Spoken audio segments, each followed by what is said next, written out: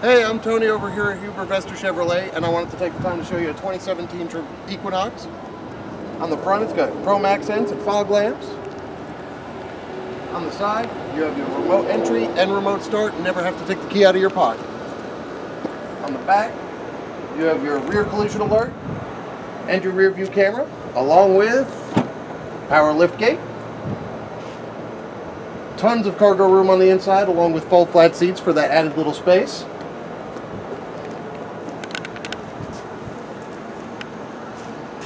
And on the inside,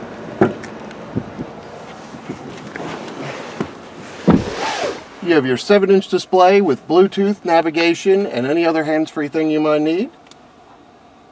Plenty of charging ports, leather wrapped steering wheel, and accents. If you're interested to come take a look, I'm Tony Moreira over at Hubert Vester Chevrolet.